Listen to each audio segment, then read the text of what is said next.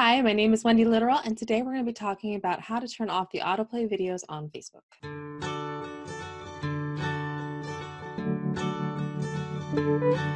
So I want to start off and say that even though I'm going to be showing you on the Android, the process is fairly similar across all the different platforms, um, anything from your desktop all the way to iOS and of course Android. And it's all you need to do is basically go to settings, go to the right place in settings, and it, it's got a weird kind of name. It's not something you would think it would be. And then go in there, and there's two different um, options, I guess you could set for for those autoplay videos. So has one has to do with sound, and one actually has to do with the videos actually autoplaying. So let me show you how to do it.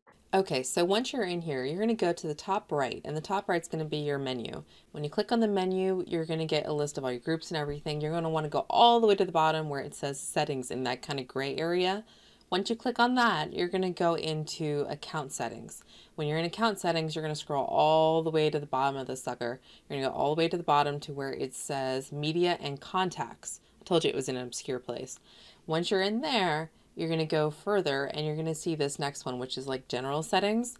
The very first one, and I've already got it turned off, but the videos and news feed start with sound that's when it just starts playing sound along with the video. There's another setting in here, so you're not done. so you do want to click this off so it doesn't just start blasting sound at you while you're trying to look at your news feed. But further down, you're going to see where it says autoplay.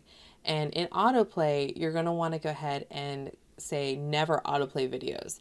That way, it's not just start playing videos at you when you're trying to scroll through your news feed. It will only um, like you won't have sound and you won't have video. So that's what I elected to do. I mean, if you just don't want the sound, just go with the first option.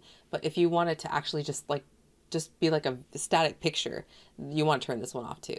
And then to get out of it, all you do is just back arrow, back arrow, back arrow until you get back to the beginning.